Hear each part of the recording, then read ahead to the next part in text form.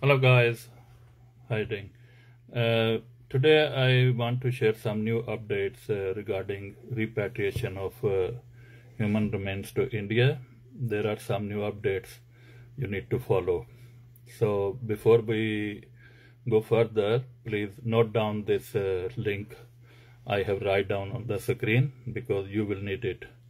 So as per new rules to send a human remains or dead body to India's, which called in our language repatriation of human remains. So when, for God bidden, if you got this kind of situation, so you need to contact your funeral director. They will complete. Uh, this is I'm uh, talking about the UK, and uh, you need to follow from the rest of the world. If you are watching this video, the same process. So any airport in India you want to send, the follow the procedure will be the same. So all of the funeral director they need to complete uh, first the UK documents, just like their declaration, death certificate out of England, embalming certificate, free from infection, and uh, we can provide them airway bill number and flight details to apply for uh, NOC from Indian High Commission and uh, they need to also cancel the passport.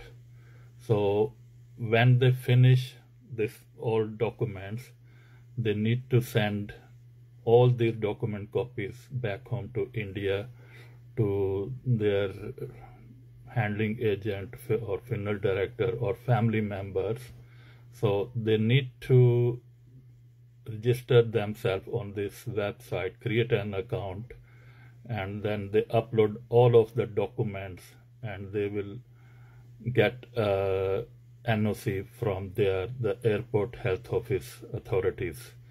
So with this NOC, they need to provide to the destination airline office to complete the OK to forward process. So without this, uh, you cannot get any approval or any confirmation from the airline. And one more thing, uh, because I spoken with Air India, they give me the new information that all uh, this especially for uh, the funeral directors, they also need to mention the chemical name they have used for the embalming purpose. So please note you also need to provide the this letter or you need to mention on embalming certificate which chemical you have used for the embalming purpose.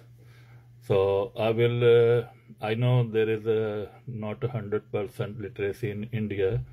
So i will upload uh, in urdu or hindi language as well the same uh, process. So if you want any information please contact us. The number is in description so our company name and uh, contact number, everything is in description. Uh, many thanks. Thanks for your understanding. Thank you. Bye bye.